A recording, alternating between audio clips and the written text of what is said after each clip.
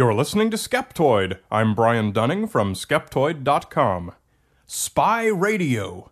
Numbers stations. Today we're going to point our skeptical eye at something that's been intriguing amateur radio enthusiasts since the Cold War so called numbers stations. Mysterious shortwave radio broadcasts sending coded messages to the world at regular intervals. Some say they are government intelligence agencies sending instructions to deep cover operatives in foreign countries. Some say they are integral parts of nuclear arsenals. Some even say that if you're caught listening to the wrong one at the wrong time, you might mysteriously disappear one night. Shortwave radio occupies the frequency range between 3 and 30 megahertz, and most numbers stations can be found in the range between 2 and 25 MHz. The benefit of shortwave is that your transmission can potentially cover the entire world, given the right conditions. It's one way, but if all you need to do is send someone else a message that you want to be sure they're able to receive, shortwave is a great way to do it. Some histories state that numbers stations have been around in one form or another since World War I, but it was toward the end of the Cold War in the 1980s when they really started gaining popularity. Many early numbers stations used Morse code or an actual person's speaking voice. But today, most numbers stations use automated voices, like you hear when you call information on the telephone. Today, many of the numbers stations are switching to single sideband. The typical numbers station begins its broadcast with some recognizable tone or statement, and then proceeds to read off five character code groups. It is widely suspected that these are encrypted messages that can be decoded by a listener using a one time pad. A one time pad is a character replacement key that's used only once. Since it's never reused, one time pads are extremely difficult, in fact, virtually impossible, to crack. You can Google for numbers stations, and you'll find plenty of websites that list them by frequency and by schedule, so if you get a hold of a shortwave receiver, you can actually sit down and listen to them. They are real, and they are broadcasting right now. Now, whenever I hear claims about spy networks or secret coded radio broadcasts, my skeptical radar goes into red alert mode, like Moneypenny's pulse when 007 enters the room. If you tell me there's a mysterious coded radio broadcast on shortwave at the same time every day, my first reaction is not likely to be to grab my tinfoil hat and shout, The government's spying on me! When I first heard about numbers stations, I asked a few friends and I got some pretty reasonable answers. For one thing, all over the world are floating oceanographic buoys, and all throughout every day they transmit their tide, temperature, and weather data via radio. I did a bit of searching online and found a lot of information about a number of different networks of these buoys, but none broadcast in the shortwave band. Rather, they are quite a bit higher, above 900 megahertz. They also use radio modems for data transmission. There would be no need for them to include spoken text. But even with these differences, it seems likely that at least some of the mysterious radio stations that amateurs have found are probably nothing more interesting than oceanographic buoys or other remote automated stations transmitting who knows what kind of mundane information. But most of the numbers stations you can read about online are clearly nothing of the kind. One of the most well known numbers stations is called the Lincolnshire Poacher, named after the song that the broadcast always starts with. Enthusiasts using direction finders have tracked it down to an array of curtain antennas inside the United Kingdom's Royal Air Force Base at Akrotiri on the island of Cyprus. Note that Cyprus is right off the coast of Syria and the Middle East. After the introductory music, the Lincolnshire Poacher repeats some coded five digit series, which nobody has ever managed to decode, presumably excluding the intended recipients.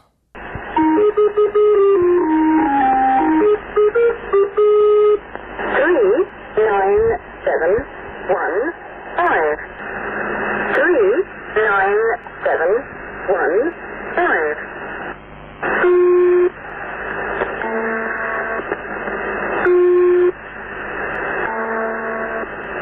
Six, six, four, seven, five.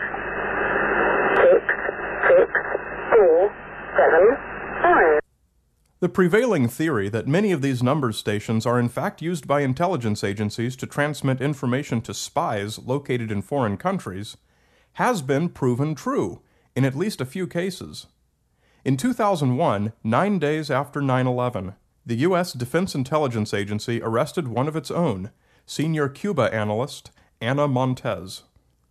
Among a wealth of other evidence against her, she had been using a commercially available shortwave radio receiver to receive coded messages from a numbers station known to be originating in Cuba.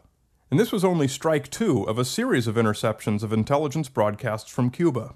One of the best known number stations, called Atencion, came into the limelight at the 1998 conviction of the so called WASP network of spies from Cuba.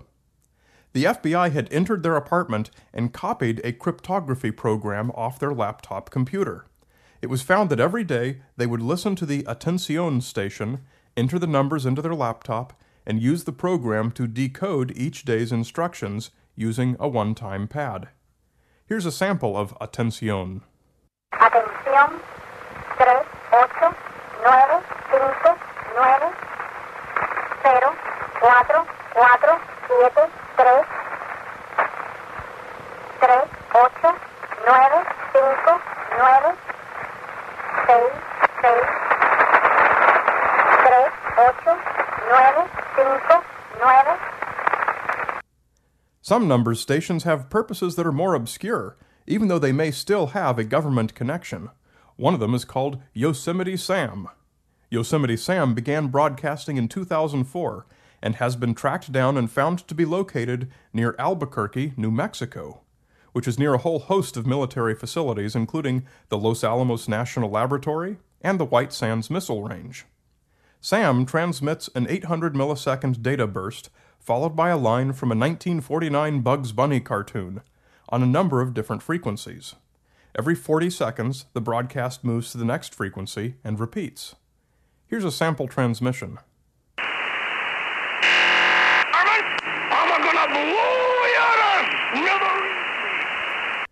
Of course, the Russians are in on the game too, demonstrated by this station, known simply as the Buzzer, which broadcasts around the clock from a Moscow suburb.